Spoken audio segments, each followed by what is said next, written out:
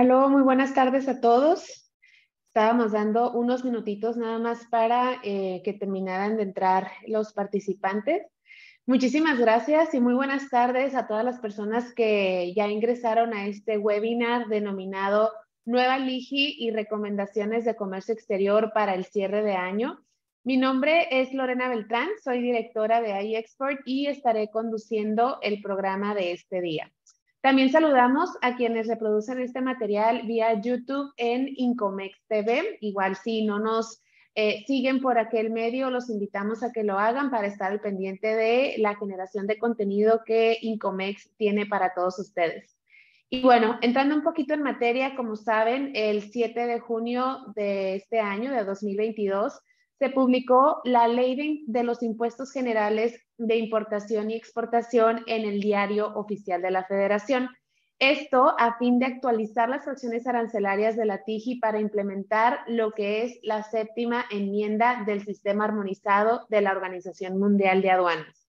El antecedente eh, previo a esta séptima enmienda, que fue la sexta, fue a finales del 2020 con la entrada en vigor de los NICOS y esta séptima enmienda ya nos ampliará un poco más nuestro expositor, eh, viene en seguimiento a estos compromisos que se tienen con la OMA. Esto, por supuesto, derivó en la actualización de diversos instrumentos normativos para su entrada en vigor, que ya es el próximo lunes, 12 de diciembre. Es decir, estamos a menos de una semana que empecemos a trabajar con la nueva TIGIE. Por ello, su servidora y el licenciado Alejandro Márquez, asociado de TP Customs Compliance, estaremos analizando las implicaciones que esta actualización tendrá sobre nuestras operaciones comerciales y aduaneras. Al final de la sesión vamos a abrir un espacio de preguntas y respuestas, para lo cual les pedimos de la manera más atenta que por favor nos hagan llegar sus dudas únicamente a través del botón preguntas y, respuestas que se encuentra ubicado en la parte inferior de su ventana de Zoom. De esa manera podremos organizarnos de mejor forma porque en el chat de la aplicación de Zoom se llegan a perder los comentarios conforme se van eh, agregando nuevos. Y bueno, en el transcurso de la presentación, nuestros equipos de comunicación, tanto de iExport como de Incomex, estarán proporcionándoles accesos para solicitar información sobre nuestros servicios o plataformas, así como para unirse al servicio de boletines. Es decir, si ustedes están interesados en recibir información para cubrir esta necesidad, para recibir algún tipo de asesoría o soporte, para saber más a fondo acerca de este u otros temas que hemos compartido con ustedes, pueden llenar eh, la información en estos links que va a estar poniendo el staff de este evento. Y de igual manera, si quieren mantenerse siempre actualizados, pueden unirse a nuestro boletín para que les estemos haciendo llegar esa información que día con día revisamos y en su caso enviamos a todos ustedes. Y bueno, sin más preámbulos, cedo la voz al licenciado Alejandro Márquez para conocer los antecedentes de la TIGIE y la séptima enmienda. Adelante, Alejandro. Gracias, Lore. Buenas tardes. Bienvenidos a todos los que nos acompañan en esta transmisión, donde vamos a platicar un poco de la séptima enmienda y la entrada en vigor de la TIGI y podremos empezar a preguntarnos qué diablos quiere decir con la séptima enmienda. Me voy a permitir compartir un material que preparamos para esta intervención. Iniciaré preguntando, ¿qué es la séptima enmienda? Bueno, la séptima enmienda deriva del sistema armonizado de, de designación y codificación de mercancías establecido por la Organización Mundial de Aduanas, de la cual México forma parte. Este sistema armonizado es de observación, eh, observación internacional para todos los miembros de la Organización Mundial de Aduanas y entró en vigor desde 1988, teniendo por objetivo promover el comercio internacional, mejorar la recolección y comparación, así como el análisis de las estadísticas del comercio exterior y dar orientación para facilitar las negociaciones de comercio y la elaboración de aranceles. Este sistema armonizado está compuesto de eh, seis pares de dígitos, perdón, cinco pares de dígitos. Estos y forman un código que fue fijado por el sistema armonizado para dar cuenta de las especificaciones de las mercancías en cuanto, en cuanto a su origen o cómo son obtenidas, de su materia constitutiva, de qué están hechos, así como de su uso o aplicación. Bajo la metodología del sistema armonizado, es factible clasificar todos los bienes tangibles comerciados, aun si estos no existían al momento en que se estableció el sistema armonizado. Los países que eh, conforman la Organización Mundial de Aduanas que han adoptado el Convenio Internacional para el Uso del Sistema Armonizado están obligados a observar la clasificación arancelaria utilizando todas las partidas y subpartidas del sistema armonizado, así como los códigos numéricos correspondientes sin hacer adiciones ni modificaciones a estos códigos. Los eh, países eh, miembros están, eh, no pueden, perdón, los países miembros deben de usar, como les comento, la nomenclatura del sistema hasta el tercer par de dígitos o lo que conocemos como subpartida. El mismo sistema permite a los países miembros agregar cierta nomenclatura arancelaria para fines locales y de identificación de productos. Como ya mencionó Lorena, en la sexta enmienda que se implementó hace dos años, el sistema ah, mexicano incluyó los números de identificación comercial o los NICOS. Así pues, eh, esta facilidad permite que cada miembro pueda subdividir la clasificación arancelaria a sistema a de una forma más detallada. Las subdivisiones se añaden y codifican a el nivel superior de seis dígitos.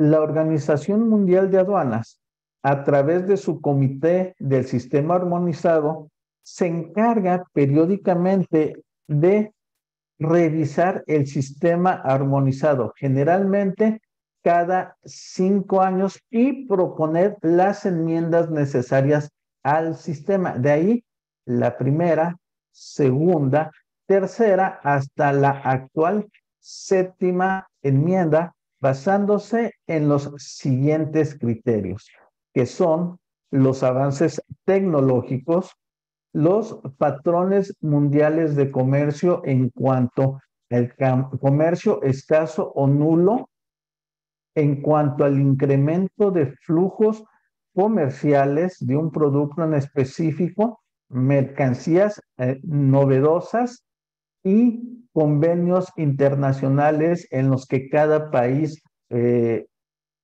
participe, permitiendo también notas para las aclaraciones y reubicación de mercancías mal ubicadas. Así pues, podemos ver que eh, este comercio escaso nulo se aplica para las mercancías que por sus características o uso ya tienen un flujo muy bajo y se pueden agrupar en las eh, fracciones genéricas. Un claro ejemplo de eso son las máquinas de escribir mecánicas o los tornamesas de uso doméstico. En cuanto al incremento de flujos comerciales, pues esto ah, obedece a que un producto incremente su flujo comercial eh, a nivel mundial así como de las mercancías novedosas por los que se crean nuevas subpartidas y partidas específicas como podría ser el caso de las nuevas tecnologías en drones o de almacenamiento de datos. Entonces, de ahí se van dando las enmiendas al sistema armonizado. Ya en particular, en cuanto a la séptima enmienda, la Secretaría de Economía es la encargada en promoverlo y ya nos había dado la referencia que esta séptima enmienda en relación a la ley de los impuestos generales de importación y exportación de México eh, afectaría en la creación de alrededor de 369 subpartidas conteniendo 531 fracción, fracciones arancelarias, la modificación de 803 fracciones arancelarias contenidas en 126 subpartidas y la eliminación de 259 fracciones arancelarias relativas a 146 partidas. Por supuesto, este, aunque es un cambio mm, grande, no es un cambio del nivel que hubo hace dos años en los que en la sexta enmienda, virtud de la sexta enmienda, México agregó eh, la identificación comercial eh, de los productos, lo que nosotros conocemos como NICOS. Mayormente, estos cambios van a estar relacionadas con los avances tecnológicos como por ejemplo los drones multipropósitos y las impresoras y también van a abordar el tema de los desechos electrónicos y eléctricos que, como todos sabemos por las características actuales de la industria, pues cada vez producimos más desechos tecnológicos. Por otra parte, también se enfoca a la resolución de problemas ambientales y sociales, como es el tema de los productos de tabaco. Productos de tabaco, kits de diagnósticos de eh, vacunas y no solamente las de el Zika, también allá entran, por ejemplo, las vacunas del COVID, mercancías de uso dual y químicos con potencial de calentamiento global. Aun y cuando, de manera genérica, los cambios se enfocan en estos aspectos, y me adelanto a sugerir que es muy importante para cada empresa revisar su catálogo de mercancías para ver si fueron afectadas en una o más fracciones arancelarias, porque en estos cambios y de acuerdo a lo que ya vimos, las modificaciones pueden ser, hablando, por ejemplo, de la reubicación de mercancías. En este caso, solo por ejemplificar, podemos mencionar que dentro de la tarifa 2020, la vigente, en la fracción 0306-199900 se clasificaban los crustáceos que incluyen eh, alimentos en eh, preparación de harina, polvos y pallets de crustáceos aptos para la alimentación humana. En este sentido, se hace una reubicación de estos alimentos para incluir en la partida 0306199900 los crustáceos, los demás crustáceos vivos o frescos y segregarlos de las preparaciones de harinas, polvos y pallets. Entonces, como pueden ustedes ver, aunque eh, el tema general de la séptima enmienda son los que comentamos de avances tecnológicos y la atención de algunos problemas ambientales, no estamos exentos de que eh, manejemos productos que pudieran verse afectados. Otro ejemplo de los cambios de clasificación arancelaria son cuando hay un cambio directo. Por ejemplo, en el caso de las demás máquinas y aparatos para ensayos de dureza, tracción, compresión, elasticidad o de algunos otros propiedades que tengan que ver, por ejemplo, con metales, madera y textil, en la tarifa 2020 se clasifican en la partida 9024 800100. para el 2022 la clasificación pasará directa a la partida 9024 80 9100. Y aquí se ve claramente lo que comentamos eh, de la observación que deben de tener los países a nivel subpartida, es decir, los seis primeros dígitos prevalecen y ya es criterio de cada país cómo estructuran la clasificación a nivel de fracción arancelaria ocho dígitos y clasificación arancelaria que es a nivel de 10 dígitos. Aquí, como podrán ver, siguen perteneciendo al mismo, eh, a la misma subpartida, pero la clasificación arancelaria cambia del 0100 al 9100.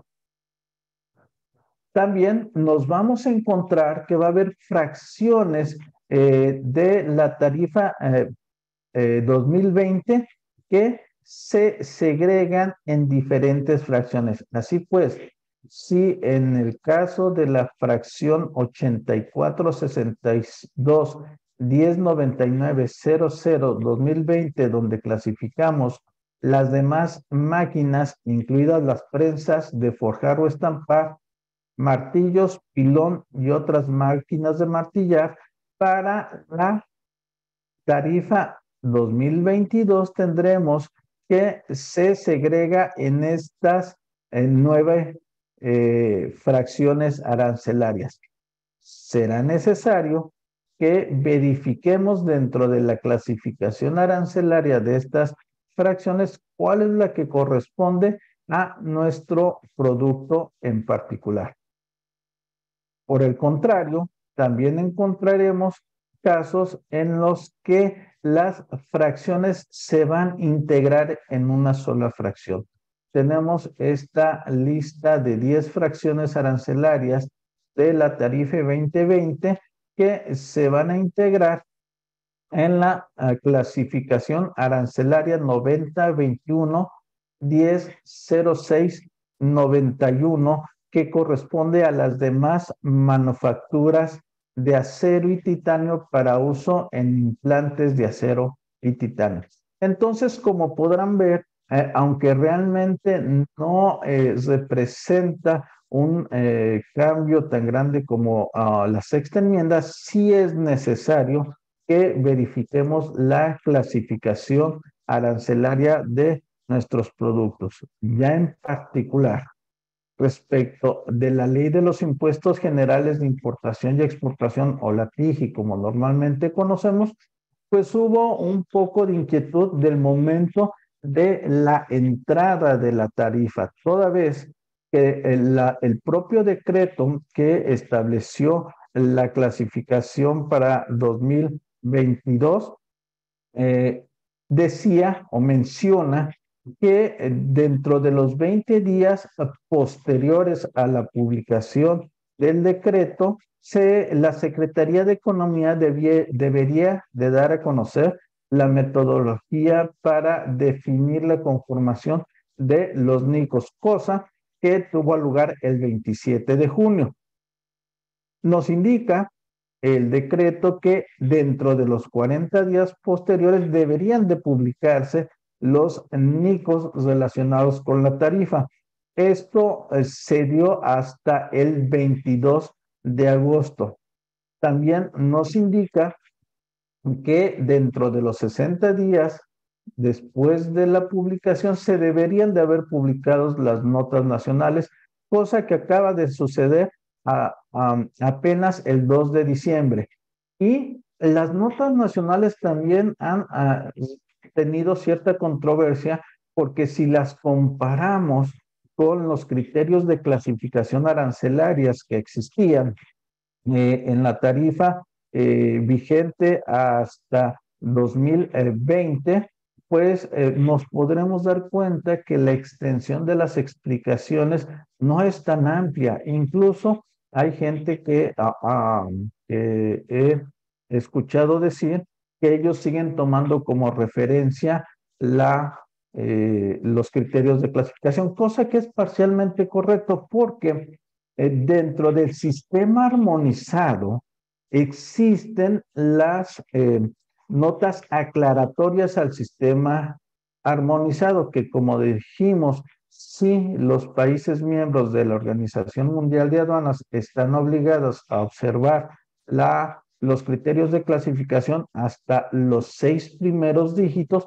pues esas notas eh, aclaratorias pues se aplican para eh, la tarifa mexicana. Ya son las notas nacionales y por eso de ahí el nombre es que para los puntos específicos de la clasificación arancelaria de México, que como vimos, eh, la, propia, el propio convenio para la implementación de la tarifa da esa libertad a los países de modificar a nivel de fracción arancelaria, entiéndase a ocho dígitos, o a eh, designación comercial, entiéndase a diez dígitos, o en el caso de México a nivel níquel.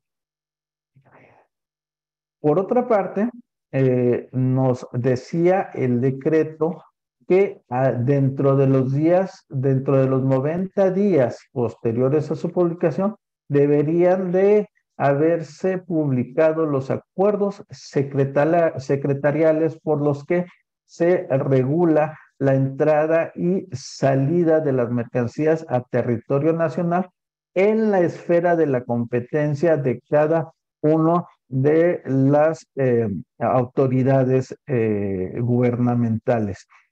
Eh, es la, publicación de estos acuerdos empezó a finales de octubre, pero incluso todavía el día de ayer se publicaron el acuerdo de las mercancías eh, reguladas por parte de la COFEPRIS e incluso el día de hoy se publicaron las mercancías, eh, las mercancías controladas, no me acuerdo en este momento si de Semarnat o de Zagarpa, creo que Semarnat, pero incluso el día de hoy todavía ha habido publicaciones.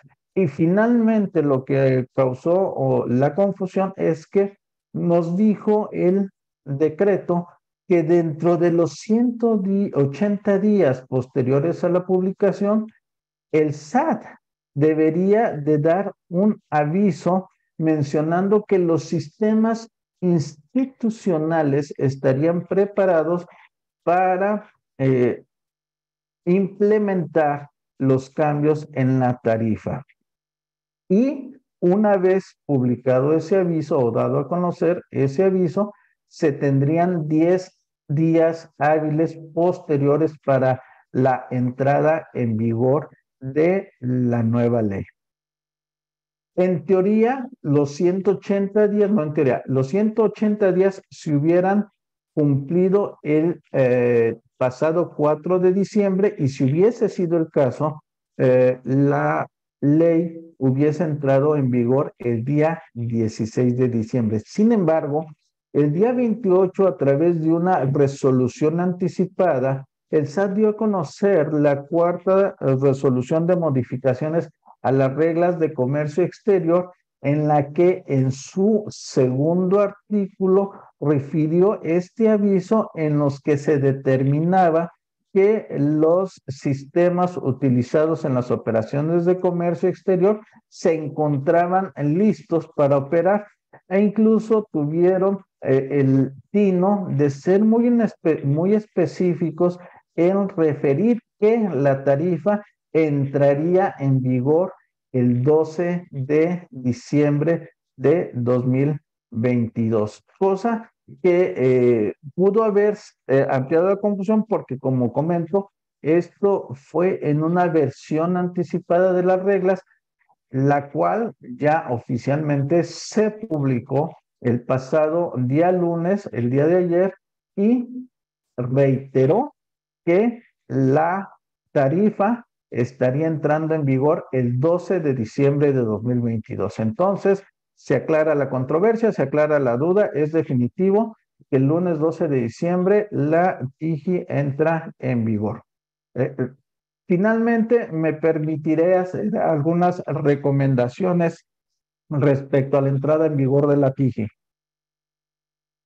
Primeramente, eh, eh, verificar si las fracciones arancelarias y NICOS que utilizamos en nuestros productos tuvieron cambio o no. En caso de tener cambio, eh, consultar la tabla de correlación para identificar el o los posibles cambios en la clasificación como lo vimos en eh, eh, cuando se puede clasificar en más de una fracción, consultar con su agente o apoderado aduanal la fracción aplicable a la mercancía, confirmar el tratamiento arancelario, así y sobre todo confirmar la aplicación de regulaciones y restricciones no arancelarias.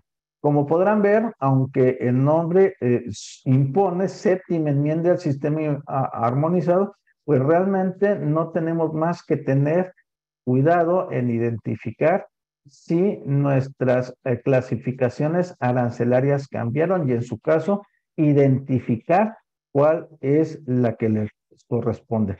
Pues Lore, básicamente lo que quería comentar en base a eh, los cambios en la tarifa.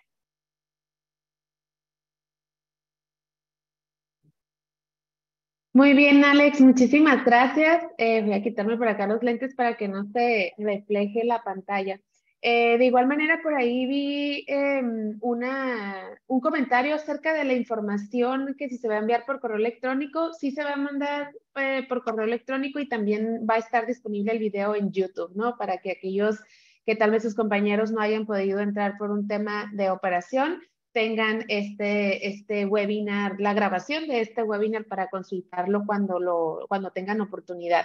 Y antes de pasar al siguiente tema, que también es muy importante respecto a lo del CPDI, porque hubo unas pequeñas actualizaciones y quisiéramos, pues con, la, con el apoyo de Alejandro que nos acompaña, comentar para reafirmar en qué punto estamos con el tema del CFDI con el complemento carta aporte. Pero antes, eh, para concluir, me gustaría eh, comentarles acerca de todo ese tema que ya está comentando Alejandro, ¿no? Respecto a la séptima enmienda de las fracciones arancelarias. Para todos aquellos que nos acompañan, a toda la audiencia, definitivamente es un tema que entre más em, automatizado lo podamos manejar, menos margen de error o eliminación como tal del margen de error van a tener.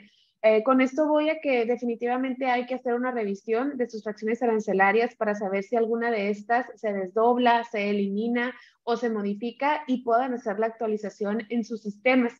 Hablo por iExport, que es el sistema de control de inventarios anexo 24 para el cual, nosotros eh, comercializamos. Por supuesto, todos nuestros clientes saben que el mantenimiento anual de la tarifa mexicana es parte de este servicio y compromiso que tenemos con ustedes. En esta ocasión, no implica una actualización mayor como lo fue en su momento los NICOS, quienes son nuestros clientes desde entonces, saben que fue una actualización mayor por todo el tema de las vigencias y demás que tuvimos que meter para tenerlo en tiempo para ustedes. Sin embargo, en esta ocasión, eh, con ese trabajo previo que ya se había hecho y con mucho esfuerzo se está trabajando, de hecho, el licenciado Alejandro también está terminando de compartirnos un poco de información prácticamente en relación a algunos permisos especiales como COFEPRIS para poder tener lista la actualización definitivamente dentro de esta semana y va a ser a través del servicio de tarifa que ustedes ya conocen y siempre está nuestro help desk para aquellos clientes que a pesar de que se les envíe la actualización deseen que se haga algún tipo manual por temas de restricciones de IT principalmente, ¿no? Entonces, em, bueno, básicamente es eso, eso es por la parte de iExport, pero también em, verlo con cada uno de los proveedores de sus sistemas, de aquellos que nos acompañan y que tal vez manejen algún otro hoy en día. Antes de pasar al siguiente punto, me gustaría comentarles, tengo entendido que por ahí en el chat van a encontrar una encuesta. Eh, no sé si todavía, muy bien, creo que ahorita les va a empezar a, a salir. Voy a darles unos 10 segunditos, por favor, para que puedan ayudarnos en contestarla y continuar con el programa del evento.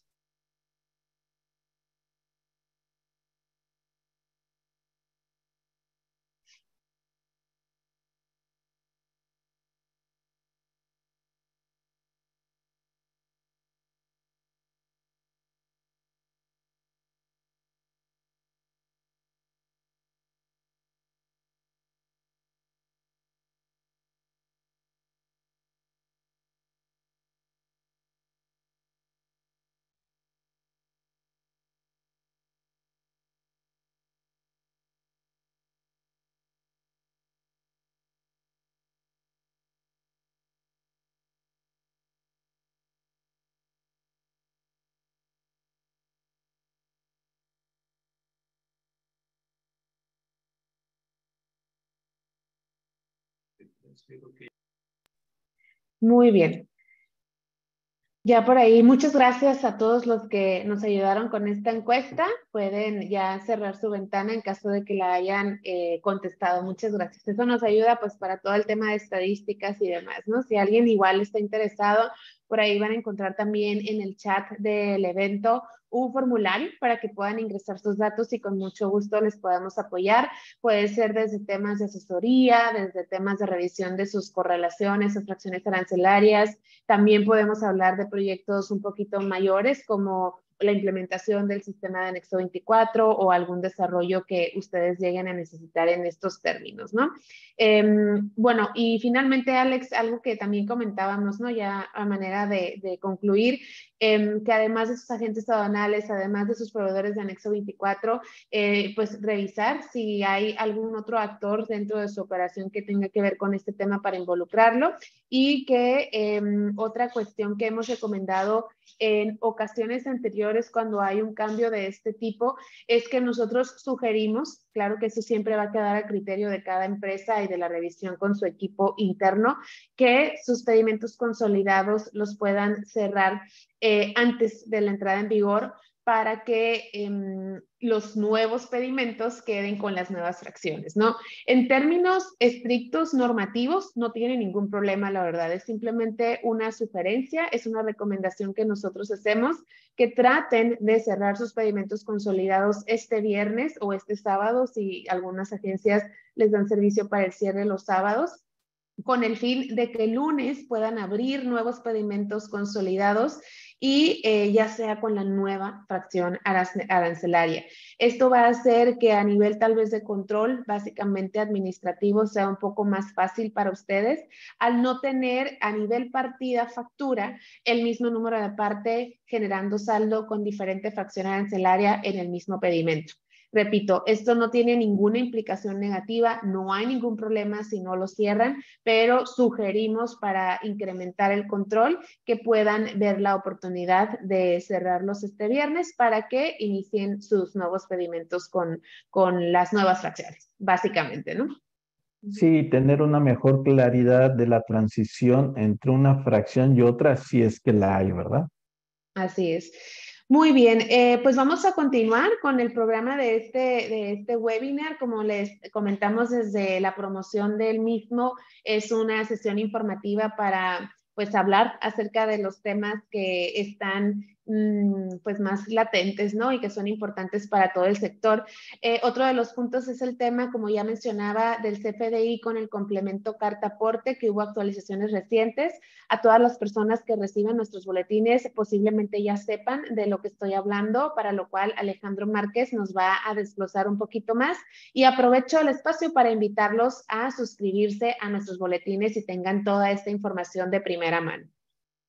Sí, gracias Lore y a todos los que nos acompañan. No quisimos dejar pasar la oportunidad de comentar estos eh, cambios, ligeros cambios que ha habido en cuanto al tema del CFDI con complemento carta aporte. Eh, comentar eh, brevemente que el 28 de noviembre en publicación anticipada de la cuarta resolución de modificaciones a las reglas generales de comercio exterior y a la publicación anticipada de la décima resolución de modificaciones eh, fiscales. Eh, se establece que va a ser exigible hasta el 31 de julio que el CFDI con complemento carta aporte cumpla con la totalidad de los requisitos contenidos en el instructivo de llenado. De la misma forma, se anuncia que la obligación de transmitir el folio fiscal de los CFDIs con complemento carta porte en las operaciones de comercio exterior será exigible hasta el primero de agosto de 2023. Finalmente, la obligación, hacer hincapié, porque esto es lo que queríamos este, reiterar porque se nos pierde la memoria, hacer hincapié que la obligación de emitir el CFDI con el complemento carta aporte eh, está vigente desde el primero de enero de 2000, eh, puse 2020 ahí, está equivocado, perdón, del 2022. Esto es importante porque si bien eh, se nos indica que podemos emitir nuestros CFDIs con complemento carta aporte sin cumplir el totalidad de los requisitos, esto no quiere decir que no estemos obligados a la omisión. Y me puedes decir, oye Alejandro, pero yo no soy el transportista, yo no soy el obligado a la transmisión de ese CFD. Entonces, ¿por qué me estás insistiendo en este asunto si a mí no me afecta? Recordar que es en las reglas eh, misceláneas fiscales, en eh, la sección 277, eh, y en el Código Fiscal de la Federación, en el artículo 83, eh, el Código Fiscal nos dice y se establece que eh, por no expedir, no entregar o no poner a disposición de los clientes los CFDIs, los CFDIs, si eres una persona moral que debiste de haber emitido o entregado ese CFDI, eres eh, susceptible de una sanción de entre 17 mil y 97 mil eh, pesos. Si eres una persona física la que debió de emitir ese CFDI y no lo haces, eh, tu multa, tu sanción va de 1.700 a 3.380 pesos. Y aquí, pues efectivamente es un tema de el transportista, pero ah, y aquí sí lo mencionan eh, las, eh, perdón, eh, y aquí en el, en el contexto del propio artículo 83 del código, también nos dice que si el CPDI se expide sin que cumplan los requisitos señalados en el propio código, en su reglamento o en las reglas generales de comercio exterior, perdón, en las reglas generales que emite el Servicio de Administración Tributaria, y aquí entran tanto las reglas de la resolución miscelánea fiscal como las reglas generales de comercio exterior, pues eres sujeto a la sanción. Entonces, aquí es importante que eh, no solo por no emitir el CFDI, sino que hacerlo sin cumplir todos los requisitos, eh, somos sujetos a sanción pero seguimos hablando del emisor, que en este caso es el transportista.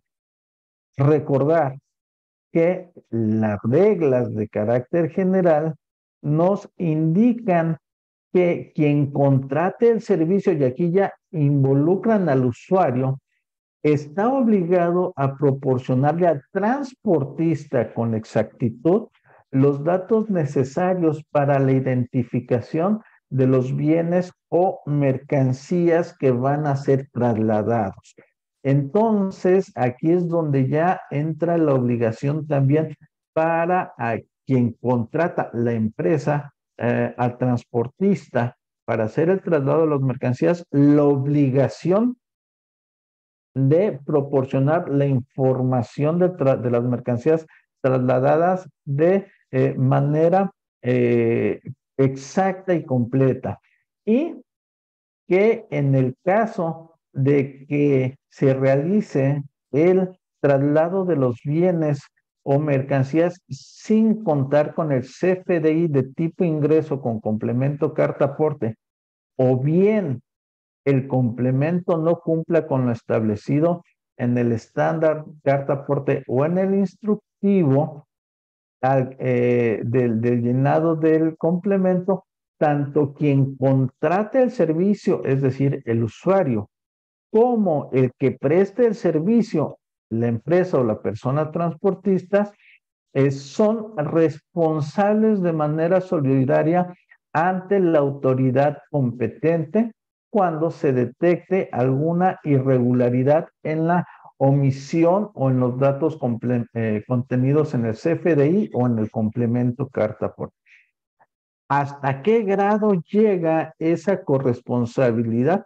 No lo sé de cierto, pero es evidente que ambas partes, tanto el transportista como quien lo contrata, eh, van a ser sujetos de ah, sanción.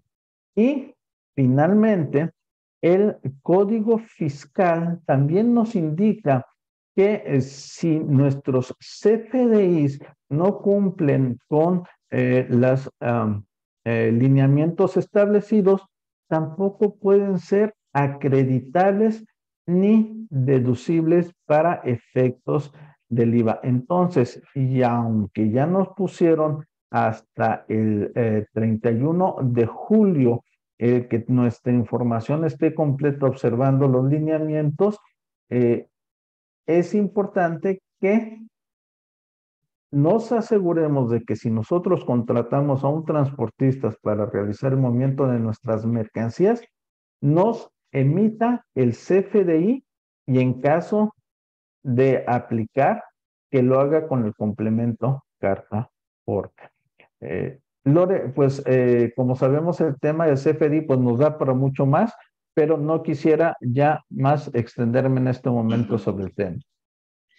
Sí, así es. Muchas gracias, Alex. Creo muy, muy importante todo lo que nos está mencionando para tener claro con toda nuestra audiencia las fechas de entrada en vigor, porque digo, lo comento, tal vez algunos de nuestros em, oyentes coincidirán en que hemos platicado de manera individual y algunas empresas tenían previsto en que se prorrogó de nuevo. Entonces, aquí lo importante es levantar la voz para comunicar y mencionarles, no se prorrogó la obligación, ha estado eh, en vigor y vigente todo lo que va del año, ¿no? Entonces, es importante que puedan em, voltear a ver esta obligación. Lo que se prorrogó, sí, es la obligación de declarar el folio fiscal en el pedimento y también em, la multa, ¿no? Aplicable en caso de inconsistencias o que se encuentre incompleto el CFDI pero ya lo deben de estar haciendo, ya sea ustedes o sus transportistas, para lo cual también hay una responsabilidad. Entonces, no es nada más dejar la responsabilidad al transportista porque es uno de ingreso y no aplica para nosotros.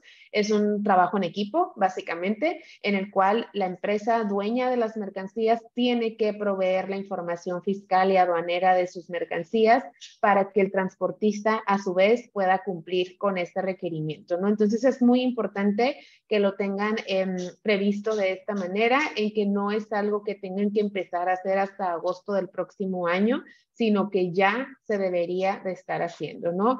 Em, adelante, Alex. Incluir en ese equipo que mencionas a los contadores, porque eh, insisto, me parece un tema muy importante que si el CFDI no se emite o no se emite conforme a los lineamientos, va a ser susceptible de no ser ni acreditable ni deducible cosa que también, eh, y esto efectivamente la autoridad lo puede verificar en una auditoría. Eh, el CFDI con el complemento, pues es en principio para acreditar el transporte de las mercancías, pero no acaba ahí.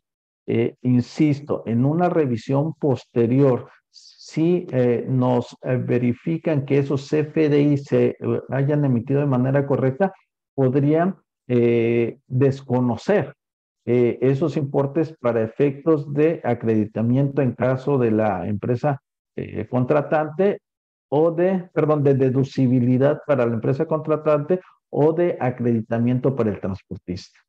Así es, muy bien. Igual si alguno de ustedes está interesado en recibir una asesoría personalizada por parte del licenciado Alejandro Márquez, asociado del despacho TP Customs Compliance, con gusto pueden dejar sus datos o enviarnos un correo electrónico. De igual manera, eh, si buscan alguna alternativa en cuanto a sistemas, soporte para darle solución a este tema del CFDI de complemento carta aporte en su empresa o sus transportistas saben que están buscando alguna solución, nosotros, eh, como ya lo hemos mencionado en otros webinars, contamos con la plataforma Vitel Cartaporte y el módulo Cartaporte en eXport anexo 24 para poder solventar este requerimiento y que no sea una carga agregada a sus actividades sino que eh, trabajando una sola vez, complementando la información necesaria, puedan utilizarlo las veces que necesiten en su operación. Entonces, con gusto, estamos abiertos a escucharlos y tener reuniones de manera individual con cada uno de ustedes que muestre interés. Vamos a irnos a estos últimos minutos a la sección de preguntas y respuestas.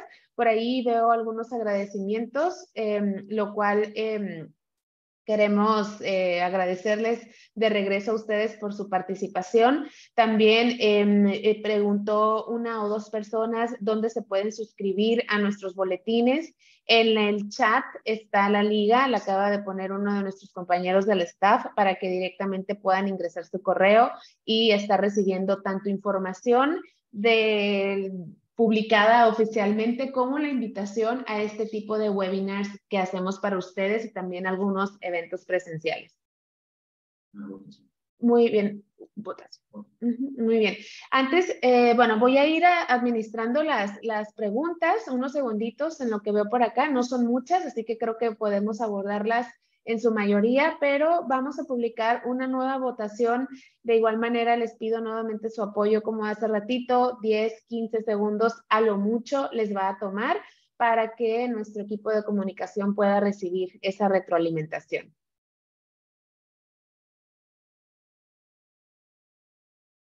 Seguramente por ahí ya les está apareciendo la encuesta. Muchísimas gracias a los que ya están contestando.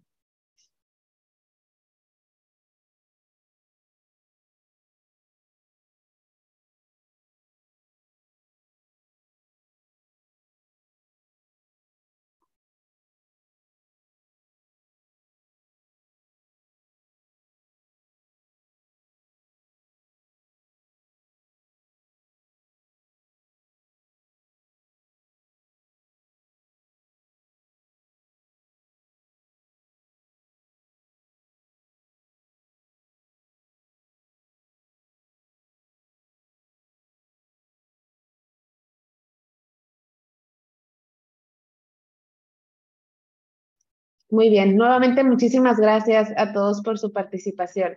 Vamos a abordar, son algunas preguntas que incluso veo que se repiten dentro del contexto, Alex. Em, nada más para terminar de comentar, aquellos que nos están pidiendo la presentación o la liga, les recordamos que esta grabación se queda disponible en el canal de YouTube en Incomex TV, así que además de la presentación, ahí pueden ver el contenido completo como si hubieran estado aquí en vivo con nosotros. Em, vamos a, comenzar, Alex, con las preguntitas que tenemos abiertas.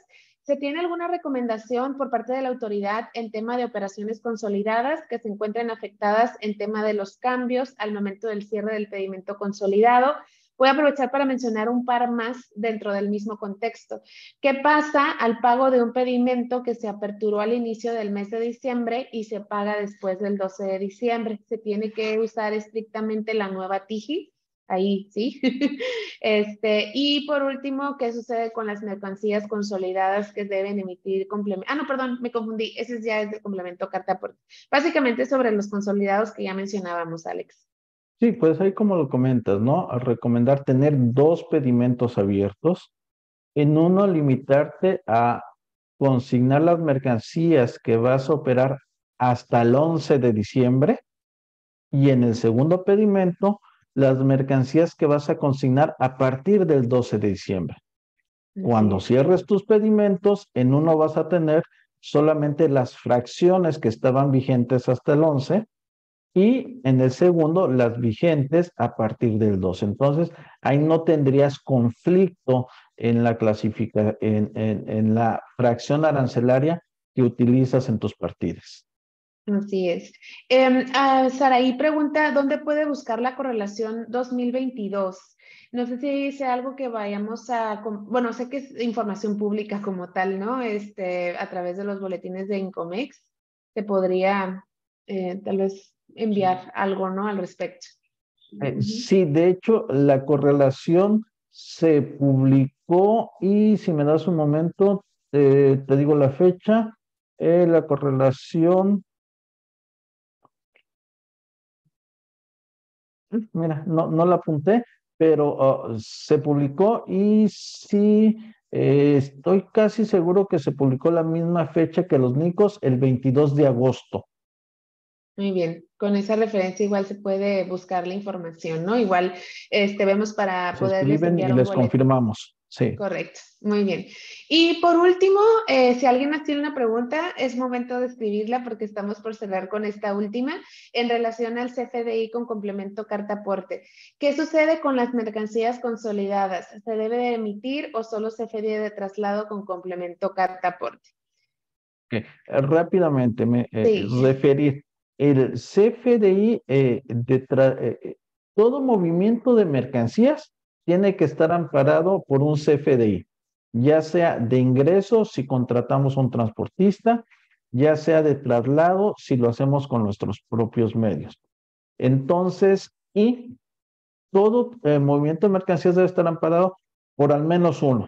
En el caso de los consolidados, lo que deberemos de hacer es integrar en nuestro expediente todos los CFDIs relacionados con eh, las operaciones de ese periodo. Y en cuanto a la obligación, y a lo mejor por ahí viene la confusión, de eh, transmitir el folio del CFDI en las operaciones de comercio exterior, esto es cuando las mercancías se presentan a la aduana, ya sea a su exportación o a su importación. En los eh, virtuales, pues no hay presentación de mercancías ante la aduana, por lo que no será necesario eh, al cierre del pedimento bueno, y la verdad no lo tengo claro, a lo mejor sí se, aclara que al cierre del pedimento relacionar todos los, folios de los CFDIs involucrados con el eh, movimiento de la mercancía. Muy bien, así es. Muchísimas gracias, Alex. Muchísimas gracias a toda nuestra audiencia agotadas las preguntas, vamos a finalizar este webinar. Por favor, no olviden un punto más, que es suscribirse, invitarlos a suscribirse al podcast Radio Incomex. Nos, nos encuentran en Spotify. Cada miércoles tenemos un nuevo episodio y eh, pues ya como mencionábamos también a nuestros boletines. Muchísimas gracias por su atención. Quedamos a sus órdenes en Incomex iExport y TP Customs Compliance para este y otros temas relacionados con el comercio exterior. Que tengan excelente tarde. Hasta pronto. Gracias a todos los que nos acompañan. Excelente tarde. Bendiciones.